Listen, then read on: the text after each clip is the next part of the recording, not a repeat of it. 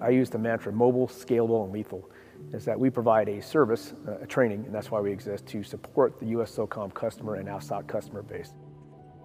3D printer uses a computer-assisted design program to 3D print. It produces an object.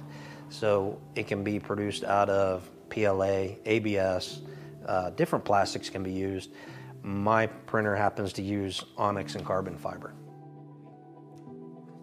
So problems a 3D printer solves is the fact that uh, we have a lot of, uh, we're a user-based uh, training environment here. So when we are in the daily routine of uh, getting a job done, we have someone come in with a problem that says, hey, I'm trying to make this work.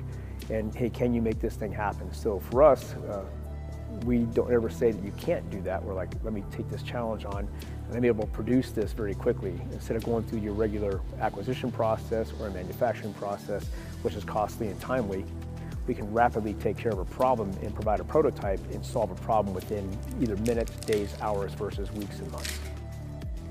The reason that the 3D printing is important as far as the combat training element is the fact that uh, I use the mantra mobile, scalable, and lethal. We provide a service, uh, a training, and that's why we exist, to support the US SOCOM customer and AFSOC customer base. And so for us, being able to be very responsive and reflexive it, it brings it to the battlefield if someone walks in and says, hey, I'm traveling to a location and there's this type of threat. Uh, can you emulate that? If I do not have that piece there, I can very rapidly in a conversation come up with a, uh, say just a, a, napkin. Hey, draw me a picture. What is it you want? Does it look like this? Or go to the internet and I can look at that and say, yeah, I can make that. So I can help person uh, when they're preparing to go down range to be able to get a good sight picture and understand the environment a little better by getting those threats that, uh, that they wouldn't normally have. I can prepare for them the battlefield picture that I'm able to produce now compared to what I was able to produce before has expanded.